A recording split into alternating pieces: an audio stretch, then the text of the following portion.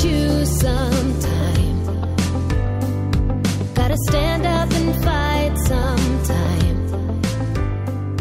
ပြီးခဲ့တဲ့2021ခုနှစ်အတွင်းကမ္ဘာတဝန်းကလေးငယ်တွေအပါအဝင်လူသန်း2000ကျော်ဟာကျန်းမာရေးနဲ့ညီညွတ်ပြီးအာဟာရပြည့်ဝတဲ့အစားအစာတွေကိုစားသုံးခွင့်မရကြသလိုတန်း800ကျော်ကတော့အာဟာရချို့တဲ့မှုဆူဆူဝါကြုံရပြီးအငတ်ဘေးအတိဒုက္ခကြုံရတဲ့သူတွေဖြစ်တယ်လို့ ကုလသမဂ္ဂအစားအစာနဲ့စိုက်ပျိုးရေးအဖွဲ့ UNFAO ရဲ့နောက်ဆုံးအစီရင်ခံစာမှာထောက်ပြထားပါတယ်။ဒါဟာဖြစ်ကမ္ဘာလူဦးရေရဲ့10ရာခိုင်နှုန်းကျော်အငတ်ဘေးအကြီးအကျယ်စိုက်နေတာပါ။2030ပြည့်နှစ်ရည်မှန်းချက်ထားပြီးကမ္ဘာတဝန်းအငတ်ဘေးအပြေးတိုင်တိုက်ဖြတ်ရေးကုလသမဂ္ဂရဲ့ဥဆောင်ကြိုးပမ်းမှုတွေနောက်ပြန်ဆုတ်နေတဲ့အခြေအနေလည်းဖြစ်ပါတယ်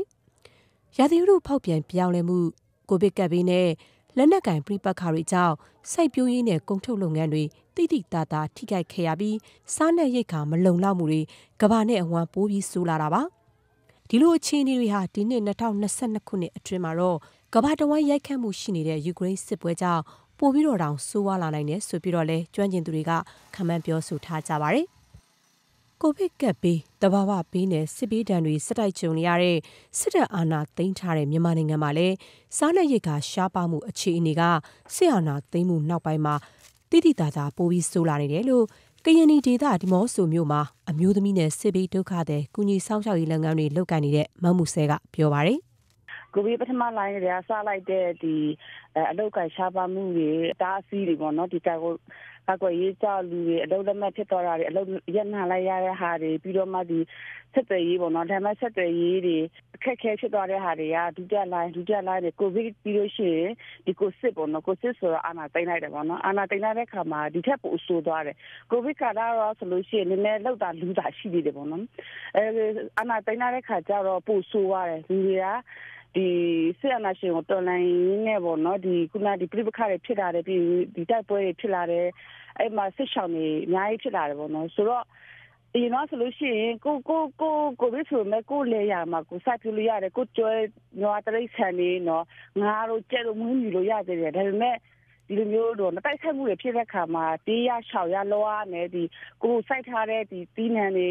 နော်ကိုတင်းနေကိုပြန်ပြီးတော့ရိတ်သိမ်းလို့မရတော့တယ်လို့မျိုးကိုကျွမ်းနွားတွေလည်းပြန်ပြီးတော့မှခေါ်လို့မရဘူးတော့ယူလို့မရဘူးပေါ့နော်ငါးတွေလည်းဆယ်လို့မရဘူးပြီးတော့မှနောက်ထပ်ဒီတင်းနေတစ်တွေလည်းယခုချိန်ထိပေါ့နော်ပြတ်တော့ပြန်ဆိုင်လို့မရဘူးပေါ့နော်ဆိုတော့ဒီဟာတွေကဘာဖြစ်တာလဲဆိုတော့တဖြည်းဖြည်းဒီဝင်ဝင်မရှိသူတို့ဒီစားသုံးနေရတဲ့ဟာတဖြည်းဖြည်းရော့ရော့ရော့လာအခုချိန်ဆိုလို့ရှိရင်လောကသူတို့ကသူတို့မှာစုထားဆောင်းထားဆိုတော့လောကဘာမှမရှိတော့တချို့လူဆိုလို့ရှိရင်ဒီ energy တွေကြလို့ပေါ့နော်အိမ်တွေလောက ဟိုဆိုင်နေအိမ်နေဟိုစပက်ကြီးတွေအကုန်လုံးကပြာကျကုန်တာပေါ့နော်ဆိုတော့အခုစစ်ဆောင်နေဆိုလို့ရှိရင်အဲမနေ့ဖြန်ကြရသူတို့ဘာစားမလဲဆိုတော့အခြေအနေထီတောင်ရှိနေပြီပေါ့နော်ပြီးတော့မှကိုဒီအနာသိန်းလို့ပေါ့နံပါတ်ဆက်တရေးတွေ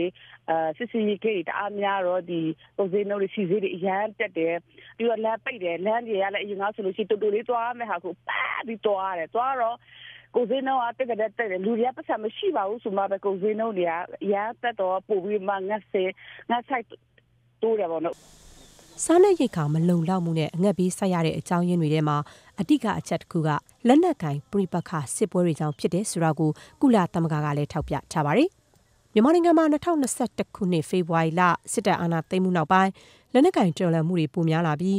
ဒီလိုလက်နက်ကင်ပြိပခါတွေကြောင့်အိုးရင်ဆွန်ခွာထွက်ပြေးကြရတဲ့စစ်ပြေးဒုက္ခသည်တွေကလည်းတနေ့တခြားပိုးပြီးတော့များလာနေပါတယ်။တချို့နေရာတွေမှာဒေသခံတွေရွာလုံးကျွထွက်ပြေးရတဲ့ခြေနေတွေရှိသလို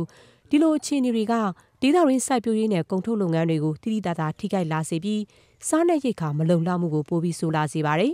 ။တစ်ချိန်တည်းမှာလည်းရာသီဥတုဖောက်ပြန်ပြောင်းလဲမှုတန်ကြောင့်ကောက်ပဲသီးနှံတွေအရင်ကလောက်မစိုက်ပျိုးနိုင်ပြန်ပါဘူး ဒီလိုအခြေအနေတွေကြောင့်မြန်မာနိုင်ငံအတွက်ကတော့ဒီနှစ်အတွင်းမှာစားနပ်ရိက္ခာရှားပါမှုအခြေအနေကပိုးပြီးတော့ဆိုးလာနိုင်တယ်လို့ KNY ဒေသကအခြေအနေကိုထောက်ပြပြီးတော့မမှုဆဲကပြောပါတယ်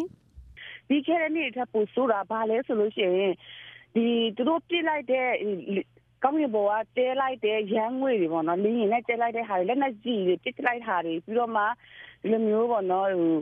အမြို့ပိုင်းမြို့မိုင်းတွေကြောက်လာပေါ့နော်ဒီငွေတွေဓာတ်ငွေတွေအစိမ့်ငွေတွေကြောက်လာသူအပင်တွေကအရင်နေ့ကထပ်ပို့ပြီးတော့မှပေါ့နော်ဟိုဆိုးရတယ်မတန်ဘူးပေါ့နော်မစပားဆိုလို့ရှိရင်မတန်ဘူးဆိုတာဒီစပားပြင်တော့နွားစာရိတ်ဖို့အတွက်မရတော့လောက်တဲ့အချိန်ပေါ့နော်ဒီစိုက်ပျိုးပင်တွေကအဲ့လိုအခြေအနေဖြစ်ကိုစိုးသွားတယ်ပေါ့နော်မနှမ်းဆိုလို့ရှိရင်လည်းအပင်တသေးလေးတွေပဲဖြစ်နေတယ်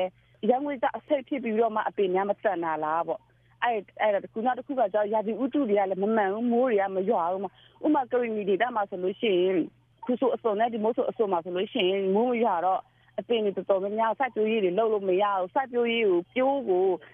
နှစ်ခါသုံးခါလောက်ကိုကျဲနေရတယ်မျိုးစေ့တွေမလုံလောက်တဲ့အခြေအနေမျိုးတွေကြုံတွေ့နေရတယ်ပေါ့နော်အဲ့မျိုးချက်ခဲတွေကြုံနေရတဲ့အတွက်ကြောင့်မို့ကျမတို့ကဒီ ကောက်ပဲတင်းနေပေါ်မှာမိခိုပြီးမှဒီစားတောင်းနေရတဲ့ပြည်သူတွေအတွက်တော့ဒီကနေ့မှာတော့ပို့ဆိုးမယ်ပေါ့နော်ပို့ဆိုးမယ်လို့ကျမတို့ထင်တယ်အခုဆိုလို့ရှိရင်မြေပဲဆိုလို့ရှိရင်လည်းတခင်လောက်လောက်မှလေးအိတ်လောက်ရတယ်ပေါ့နော်လေးအိတ်ရတယ်ဆိုကျမတို့ကရောက်မှလားကျမတို့ကစားမှလားပေါ့နော်ဒါမျိုးကြီးကိုပီတာစုတက်တော့စားမလောက်ရင်တခြားဟိုစိုက်ပျိုးရေးမလုပ်တဲ့လူတွေတော့ကျမတို့မရနိုင်မလားပေါ့ဒါကဟိုကျမတို့တွက်ကြည့်လို့ရှိရင်ပေါ့နော်မြင်နိုင်တဲ့အရာတစ်ခုပေါ့နော် သူတို့ဖွဲ့ကအကူအညီဆောက်ရှောက်ပေးနေတဲ့အမျိုးသမီးတွေစစ်ပေးဒုက္ခသည်တွေကြားမှာအခုနောက်ပိုင်းအမိမသိနာမကျန်းမှုတွေရှိနေတာကိုတွေ့လာရပြီးဒါဟာစစ်ပွဲတွေကြားဆွရင်ကြောက်ကြမှုတွေနေ့စဉ်ကြုံရတာအပြင်ကျန်းမာရေးနဲ့ညီညွတ်တဲ့အာဟာရပြည့်ဝတဲ့အစားအစာနဲ့စီးပွားတွေမရတာကြောင့်ဖြစ်တယ်လို့လည်းမမှုဆဲကပြောပါတယ်အခုဆိုလို့ရှိရင်လူတွေက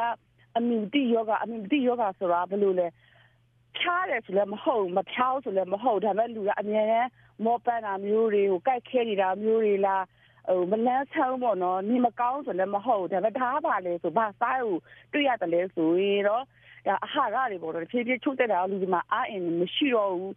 ဒီအမျိုးသမီးတွေဆိုလို့ရှိရင်လည်းဆိတ်ချောင်းစခန်းမှာတီးလိုက်မယ်ဆိုလို့ရှိရင်လည်းဟိုအမျိုးသမီးတွေကတခြားမျိုးသမီးတွေလိုမျိုးပေါ့နော်မျက်နှာကြည့်ကြည့်လေးမျိုးတွေနော်အသားရည်စူဖီလာပါနေတာဟာမျိုးမရှိဘူး ကလေးငယ်တွေဆိုလို့ရှိရင်လည်းဒီအတိုင်းပဲပေါ့နော်ဆိုကလေးတွေအာဟာရတွေချုပ်တက်ပြီးတော့မှတဲ့ကြောဖြားကုန်မှာစိုးတယ်ကျမတို့ကဖြားလို့ရှိရင်ပေါ့နော်ဘယ်နေရာစေးရုပ်စိတ်ကဆိုတာလည်းအဝေးကြီးပဲတဲ့ဘယ်နေရာပို့လို့ပို့ရမှလည်းမသိဘူးပေါ့နော်အာဟာရချုပ်တက်ပြီးမှဖြားမှအရင်စိုးရင်နေတယ်ဆိုပြီးမှဒီမိဘတွေစီရပေါ့နော်ဒီလိုစကားတန်နေလဲတားရတာရှိပါတယ်ကျ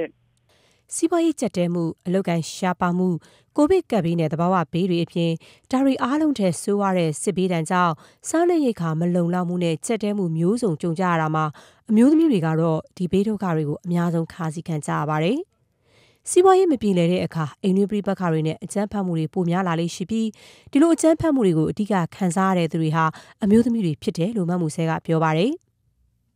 အဓိကကအိမ်တွင်းကြမ်းဖက်မှုတွေပေါ့နော်ဒါအရင်ဆုံးနေကြကောင်းတာအမျိုးသမီးတွေအိမ်တွင်းကြမ်းဖက်မှုတွေဖြစ်သွားမယ်ဟိုတော့အခုဆိုလို့ရှိရင်လည်းအိမ်တွင်းကြက်ဖက်မှုတွေကပိုတိုးနေတယ်ပိုတိုးနေတယ်နောက်တစ်ခုကကျတော့ဗရိပခအတင်းပေါ့နော်ဒီဟင်ပိုင်းဆိုင်ရာအကြမ်းဖက်မှုတွေလည်းအများကြီးဖြစ်ပေါ်လာနိုင်ခြေရှိတယ်ပေါ့နော်ဘာလို့လဲဆိုရင်ဒါတွေကဒီတွန်းအားပေါ့နော်တစ်ဖက်ကဒီ အဲစီးပွားရေးရတုံးအားတွေတစ်ဖက်ကနိုင်ငံရေးတုံးအားတစ်ဖက်အစိုးဆုံးကဘာလဲဆိုတော့ဝမ်းစာပေါ့နော်ဒီမိသားစုတဲ့ဝမ်းရေးကခက်ခက်ဖြစ်လာပြီဆိုလို့ရှိရင်ဒီမင်းလေးငယ်တွေကမင်းလေးမြို့သမီးကြီးနဲ့မြို့သမီးငယ်တွေကပထမဆုံးမိသားစုတွေရဲ့အရေးကိုသူတို့ကပထမဆုံးလက်စည်းခံရတာသူတို့တွေပဲဖြစ်တယ်ပေါ့နော်ဆိုတော့ တကယ်တော့ဒီထက်ပြီးတော့မှကျွန်တော်တို့စားနေရခံလုံလောက်မှုမရှိဘူးဆိုလို့ရှိရင်မိသားစုကပြဿနာတက်လာရင်အရင်ဆုံးဟိုဟိုနော်အိမ်တွင်းအကြမ်းဖက်မှုဖြစ်မယ်လေများကြားပြဿနာတွေဖြစ်မယ်ရန်ဖြစ်တာတွေဖြစ်မယ်ပြီးတော့မှဒီသမီးငယ်တွေကနေပြီးတော့မှနှုတ်ထွက်ရှာရတာဟာမျိုးတွေသမီးငယ်တွေကနေပြီးတော့မှဒီများဒီဘောနော်မရအဖြစ်ခုနလိုမျိုးပေါ့နော်ဟိုရောင်းစားခံရတာတွေလင်ကျုံလင်ကျုံအနေနဲ့ရောင်းစားခံရတာတွေငယ်ရပြီးတော့မှပေါ့နော်ကလေးလုတ်သမားတွေ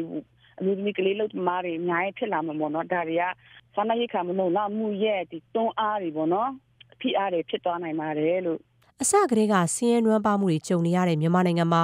ကိုဗစ်ကပ်ဘေးနဲ့ဆီယနာသိမ်းမှုနောက်ဆက်တွဲနိုင်ငံရေးမတည်ငြိမ်မှုတွေကြောင့်ဆင်းရဲနွမ်းပါမှုအခြေအနေပိုပြီးဆိုးလာနိုင်တယ်ဆိုတာကိုကုလသမဂ္ဂဖွံ့ဖြိုးရေးအစီအစဉ် UNDP ကလည်းဒီနှစ်အစောပိုင်းကတည်းကသတိပေးထားပါတယ်။ ဒီနှစ်2022ခုနှစ်အစောပိုင်းမှာကိုပဲမြန်မာနိုင်ငံလူဦးရေရဲ့တဝက်လောက်စီးရဲနွမ်းပါမှုတန်းကိုခန်းစားရနိုင်ပြီးအားရပြည့်ဝတဲ့အစားအစာတွေကိုလိုအပ်တဲ့ပမာဏပြည့်အောင်မစားရတဲ့အခါကျန်းမာရေးချို့ယွင်းမှုတွေနဲ့ခန္ဓာကိုယ်ဖွံ့ဖြိုးမှုအားနေတာ